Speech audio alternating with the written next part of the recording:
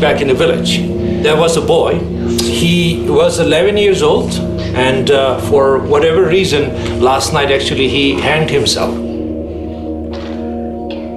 I had a couple of times actually opportunity to meet that young boy, and I think a year ago that when I went to uh, visit uh, their village, that the grandmother encouraged me to save his life if we could take that boy uh, to the community because of some uh, challenge in his family. And I felt this morning that uh,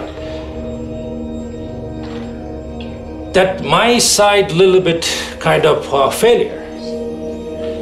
The mistake I felt that I made is was not able to see the condition of his inside, the mental condition of the boy, what kind of stress he's going through.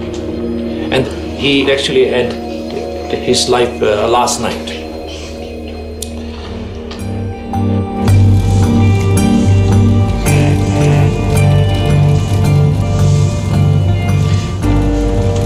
We have more than 1000 requests so far that we received to take the kids into community.